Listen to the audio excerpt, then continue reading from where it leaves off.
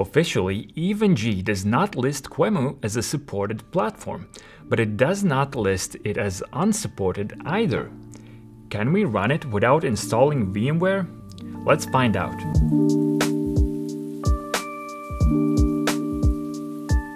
I have QEMU and Virt Manager installed, so I just need to head over to eve-ng.net and download the Community Edition. The OVF option is not the correct format, but we can convert it and it will be faster than installing from ISO. I also need to get the Linux client side because without it I won't be able to manage the nodes we create in EVE-NG. I will just run the install script.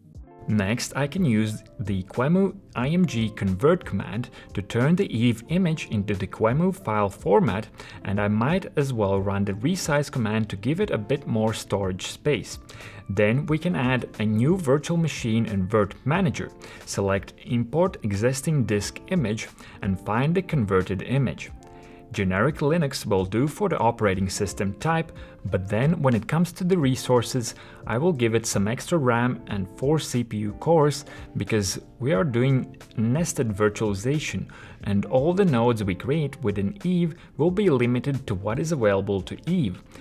Then I don't even need to customize the installation, I can just rename it and click Finish. And it started. The login credentials are root with the password eve. I will keep the same password and all the default configuration settings. After a reboot, I can take the IP address displayed by the VM and enter it into a web browser. There I can type in the credentials admin with password eve and create a lab. But of course, when we try to add a node, there is nothing available apart from virtual PC, so next we need to add some nodes to Eve. Back on the Eve website go to documentation, how to, and scroll down to MikroTik. There you have some basic instructions on how to add a CHR that we should roughly follow. Open mikrotik.com slash download and find cloud hosted router. There we want to get the raw image for the latest version 7. Next, we can create a folder named mikrotik-7.7 on EveVM.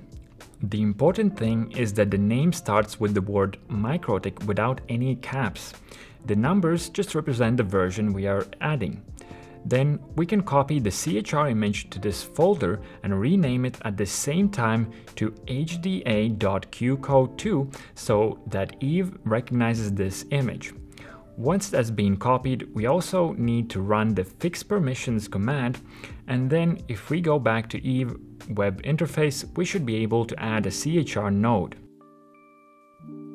I will also add a network for a simple topology, where the CHR is going to control our access to real-world networks for another end device. Under Add an object, choose Network and select Management brackets Cloud 0 as the type.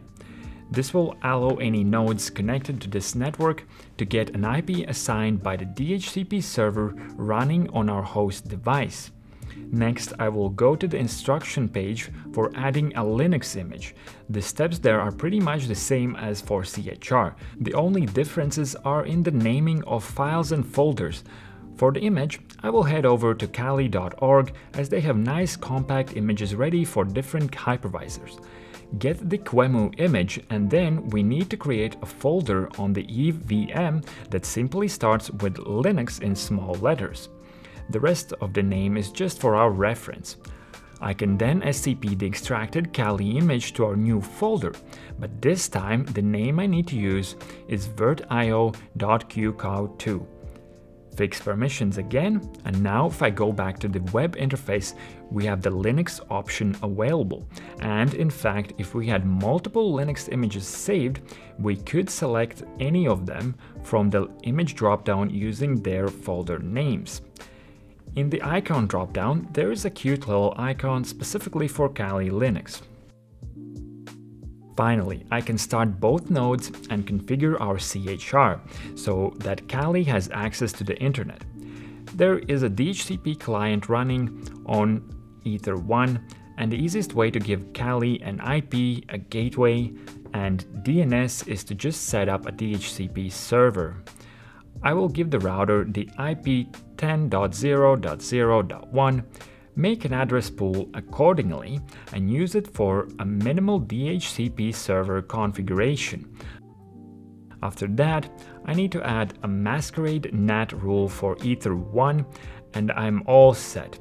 Kali should now have received an IP address, a correct route, and if I open the web browser, I can access the internet as well. We have done it. EVE-NG is running, the nodes are working, nothing crashed, and my laptop did not even catch on fire, for now.